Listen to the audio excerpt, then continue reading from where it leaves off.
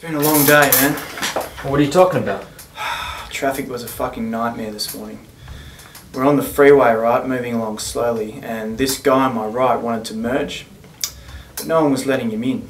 So I thought, "Oh, fuck it, I'll let the poor bastard in. So I wave him in, and man, this prick doesn't even wave back at me.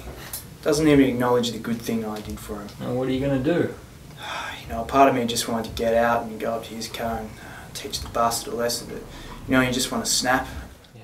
Look, you know I have to ask. If I didn't, they'll think we were in it together. They know our history. Our history? Well, what the hell does our history have anything to do with it? has everything to do with it. They know what you did for me. They think I'm biased. So you have someone else take over the investigation. It's that easy.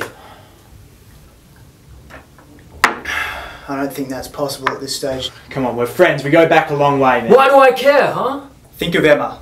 Is this really going to help? Come on, man. Put the fucking gun down.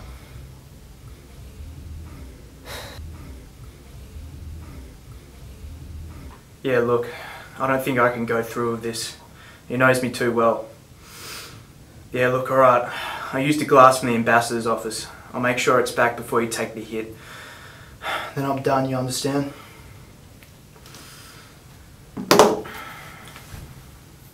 Mark, you do realise we've got over a hundred applicants for this role. Um, I mean, it's tough, man. Uh, what other experience do you have? You call your grand grand. So, did you did you really see Sarah dancing with another dude? No, I just want to go to a strip joint. Yeah. Fucking hell, tonight's gonna be epic. Yeah. Guy wants to steal a fucking monkey. This is awesome. Hey, all right. Don't worry about this, guys. Fucking Todd will get this again. Assholes. Wait up.